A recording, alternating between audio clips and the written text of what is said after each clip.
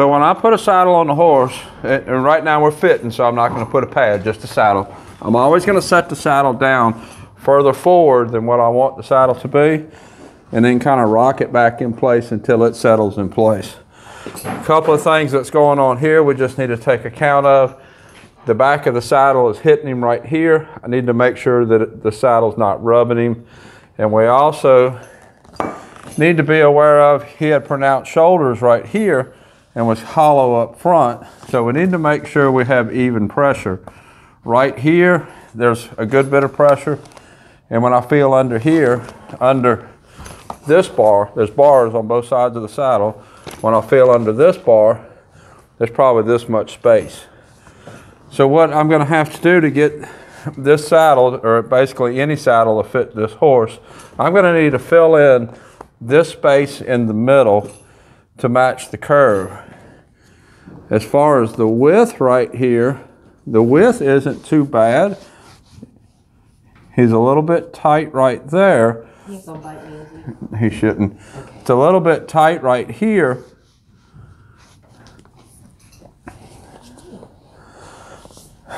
But we're going to see what this looks like after I fill this in. Now, I get horses in for training that are, are most typically they're unfit or less fit than what they're going to be as as their training progresses with me. So as his training progresses, he's going to be build, building up muscle here. He's going to be building up muscle back here. So what saddle fits him today is probably not going to fit him next week because they'll be building that muscle. The horse's back is going to be changing. So what I have to do, I have to. I got three different saddles that I can usually make fit just about any horse that comes in and I have to reassess that as the training goes. And you'll have to do that with your horse. As you ride your horse and the horse builds muscle, or as the seasons change between summer and winter, you have to reassess the saddle fit. You might have to make a change with your pad. A pad is not going to take a totally unfitting saddle and make it fit, but it will make a minor adjustments, kind of like what I'm doing right here. There's nothing too terribly wrong here except for I don't have enough contact here and I have too much contact here and I need to account for that. So let, us throw a couple of pads on and we're going to talk about how that affects this saddle on him. So this is just a, a plain pad, nothing special about it. I'm not a huge fan of memory foam pads, uh, the anything that, that compresses. I'm not a real big fan of those. Reason being, they do compress and they do mold to a point, but it's going to give you a false sense of that pad fixing a problem. That pad really not going to fix a problem.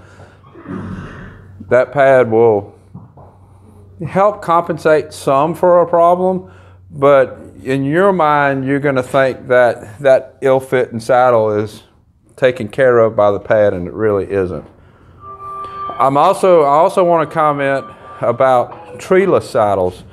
I'm really against treeless saddles, and people have the concept that because it's a treeless saddle, it molds better to the horse's back, which in theory it does.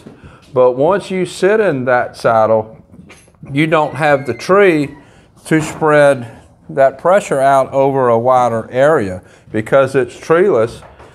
Your weight, your contact is where it is. So there's no tree to spread that weight out. So I really don't like treeless saddles for that reason. The, it, they sell it because it molds to the horse's back, which it does, but it also doesn't help to distribute your weight over the horse's back, which is what the purpose of a tree is. So now I put this pad on. I still have this dip right here. I really haven't changed anything to fit his back. This where it's tight is still going to be tight. I still have this dip and this saddle is still going to come back and hit right here. What I need to really fix this so that I can put even contact all over the horse's back is I'm going to fill this spot in here where I had that gap.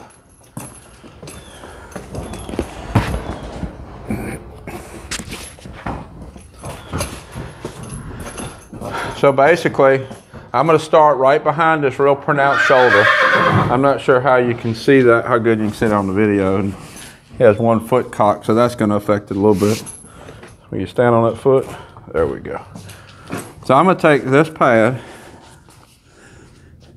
and use it to fill in where the, the saddle didn't have contact. And then on top of that, I'm going to put this fleece pad, or felt pad rather. And now I have a better shape to work with. Now I'm going to put the saddle on.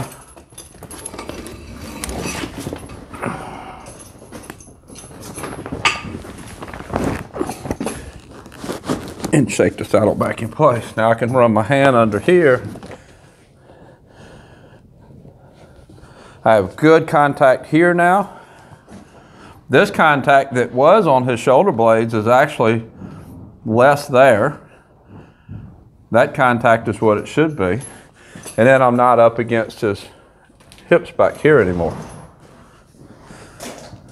So if he didn't have this dip right here, and I added that pad, I would be putting a lot of pressure right on his back.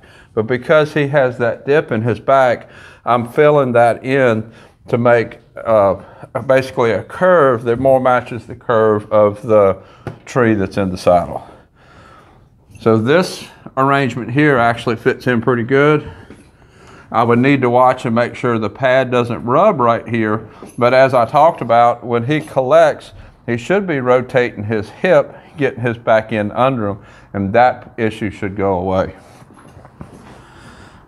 Now the, the other issue that goes on with this horse, when this saddle is sitting where it wants to be, where the curve of the tree of the saddle matches this curve that I've built up, that puts my cinch strap a little bit further forward than what I'd really like it to be. It's right there. I'd really like it to be like right there, and it wants to be here. So what I'm going to have to pay attention to is to make sure I don't get a girth rub right here, and I'll watch that by picking his foot up and pulling it forward. I, you'll see that in a minute. To get, it's not really going to move the girth back, but it's going to give a little bit of release to this skin that's going to be caught right here and then pulled forward when he moves his foot forward. A lot of girth rubs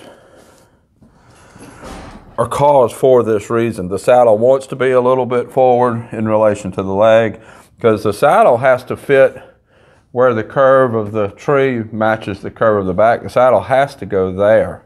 So you have to account for the shoulder blades, you have to account for the girth. So I'm gonna put a girth on this saddle, show you what I'm talking about.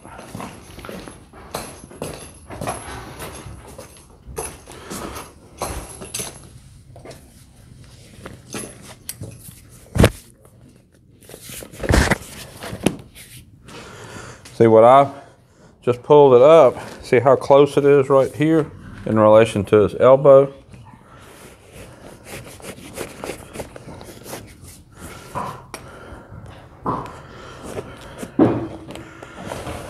Now if you have a, a saddle with adjustable rigging up here, you could fix that by changing, like some of them have two rings, you can go down and then go up to the back ring. That's gonna shift your saddle back. That rigging is for this situation. But this saddle that I have that fits his back doesn't have that kind of rigging. So that's what I have to work with. So now what I'm going to do, I just got it just a little snug. I'm going to pick his leg up and pull his leg forward, your foot, to pull that skin out and then put it back down. Now that should prevent rubs, even though I didn't move the girth back, I gave him a little bit of space right there. Put your foot back where it was. There you go. He's got the skin right there in order to move. Another thing to be aware of, because of where the girth is going to sit on him, I wouldn't want this ring to be hitting his elbow right here as his leg goes forward to back. So this, this saddle an arrangement is not ideal for him. If he was your horse and he was in the riding condition that you were going to keep him in long term, you would probably order, special order a saddle to fit just him. But in this situation, what fits him today is not going to fit him next week. I would have to make a change. So you have to kind of weigh that in with your horse and what you're going to do with your horse. So let's go ahead and I'm going to work him a little bit and we'll come back and look for the saddle marks. It's not very warm this morning. I'm not sure how much sweat there's going to be, but uh, we'll work him a minute. We'll see. So we'll pull the saddle off and we'll look at the marks and see what his back looks like. I just took the girth off. I always take the girths off of my saddles. So let's see what we got here. I know he's not sweating because I didn't work him hard enough.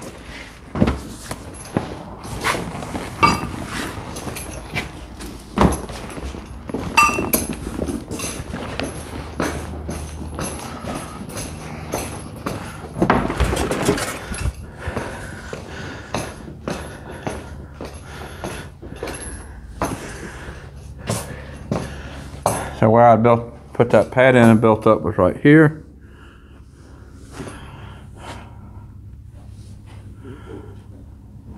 It feels all consistent. Like I said, I didn't really get him all that hot, didn't get him all that sweaty. Feels real consistent. I, I, you would tell better if I'd actually loped him, got him hotter, then we'd be able to see a little bit better. But there's no, there's no ruffled hair marks. A lot of times if you're pinching really hard, you'll see the hair ruffled up kind of like that. There's no ruffled hair. It all looks good. All looks like it did when I saddled him up. So that's a, that'll help you with a saddle fit and getting kind of an odd horse to a, a saddle to fit them.